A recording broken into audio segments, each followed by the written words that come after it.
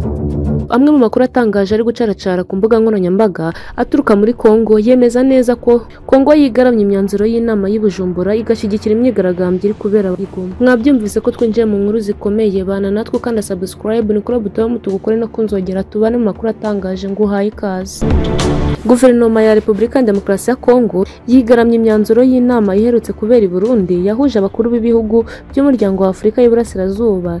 Yerura ko idateze kuganira na M23 ni intero Kongo yazamuye mu gutesha agaciro imyanzuro y'inama idasanzwe y'abakuru b'ibihugu bya EAC yabaye mu cyumweru gishize yanzuye ko ibibazo by'umutekano muke mu burasirazuba bwayo bizakemurwa n'igisubizo cya politike aho kuba intambara. Umuvugizi wa guverinoma ya Kongo Patrick Muyaya kuri uyu wa mbere yabwiye abanyamakuru ko ibyo abakuru b'ibihugu bemeje leta itazabyubahiriza. Umwe mu myanzuro yafatiwe muri iyo nama usaba impande zombi zirebwa n'iki kibazo guhosha umwuka mubi zifashishije inzira zashyizweho ku rwego rw'akarere na mpuzamahanga mu gukemura ibibazo. Imyanzuro y'inama igaragaza ko abakuru b'ibihugu bemeranyije ko uburyo bumwe bwo gukemura ibibazo by'umutekano muke mu burasirazuba bwa Kongo ari inzira ya politike n'ibiganiro hagati y'impande zirebwa n'ibi bibazo. Muyaya ati ntabwo tuzaganira ibiganiro na M23 ntabwo duteganya kuganira na M23. Icyo kigomba gusobanuka neza. Yakomeje ati ibisabwa kugira ngo ibiganiro na M23 bibeho cyangwa kuba twasubukura umubano n'u Rwanda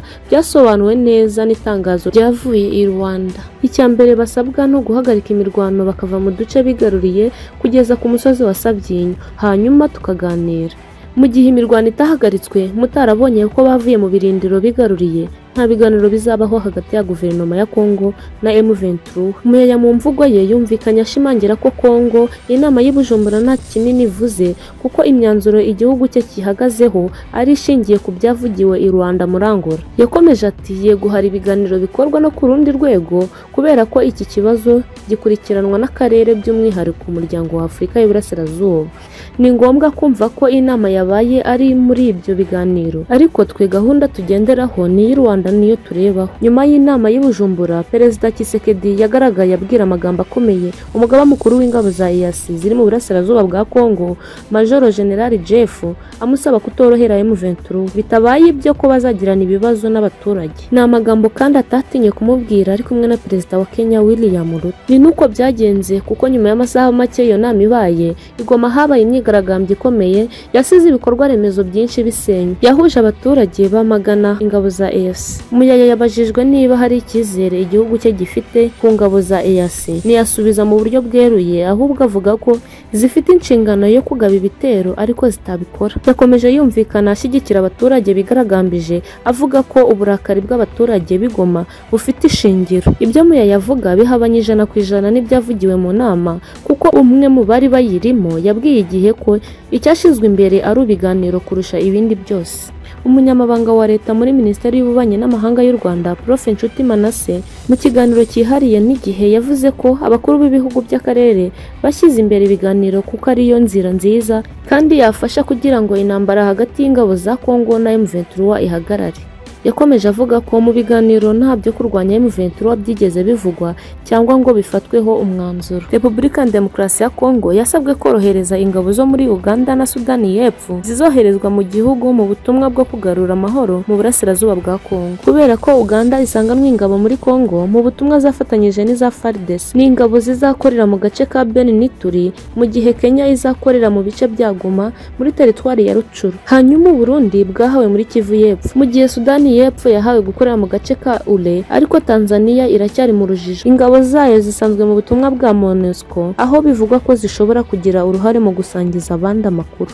Leta ya kongo yatitiye ubwobane bwose kuri felix antoine kisekedi m23 imufatanya igihugu ingabo za fardc zatitiye m23 yigaruriye ibinombe by'amabuye y'agaciro mu gace ka rubaye mwabyumvise ko twinjiye mu nkuru zikomeye ziri kuvugirwa ku butaka bwa kongo ngwino ubane natwe kandi subscribe kuri buto mutugu kuri no kunzogera tubane mu makuru atandukanye tubagezaho mbahaye ikaze.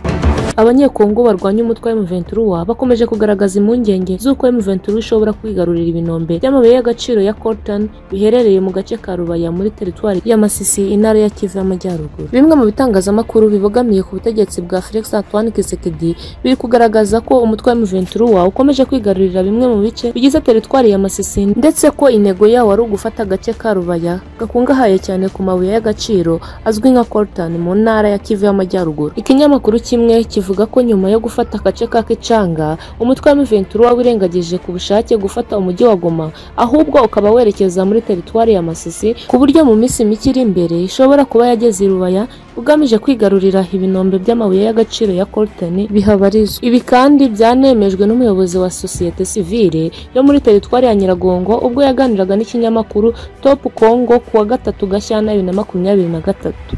Yagize ati M23 yanze gufata Goma ku bushake ahubwo yerekeza i Masisi bitewe n'uko ifite intego yo gufata agace ka Rubaya gakungahaye cyane ku mabuye y'agaciro yiganjemo azwi nka coltan agace ka Rubaya niko gacukurwamo coltan nyinshi mu ntara Kivu y'Amajyaruguru.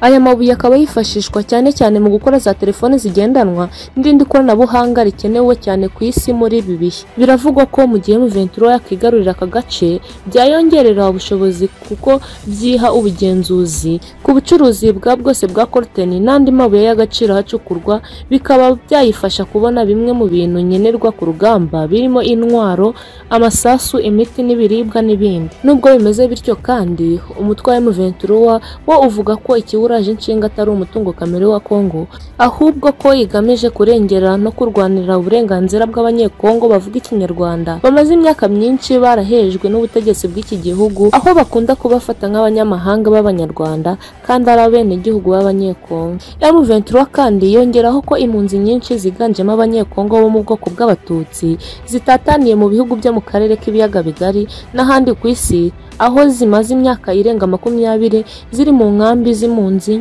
nyuma yo guhunga ubwicanyi n'ibindi bikorwa by'urugomo bibakorerwa muri Kongo bamwe mu banyekongo bo mu bwoko bw'abatutsi ntiborohewe n'abari kwigaragambya mu mujyi wa Goma. Murabyumvise ko twinjiye mu nkuru zikomeye mukande subscribe mukore no kunzogera tubane mu makuru atandukanye. Mbahaye ikaze.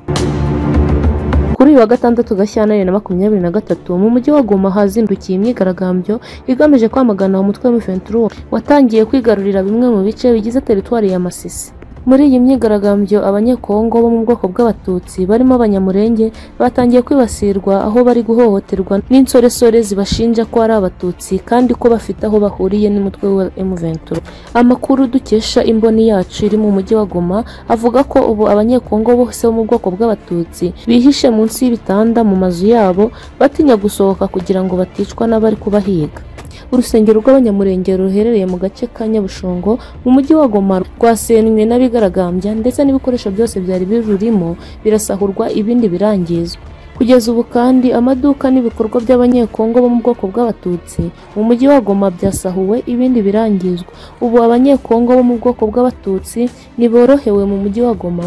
Ni mu gihe ababibonye n'amaso bemeza ko hashingiwe ku kubukana abigaragambye bafite abatutsi bashobora gukorerwa igisa na jenoside igihe icyo ari cyo cyose.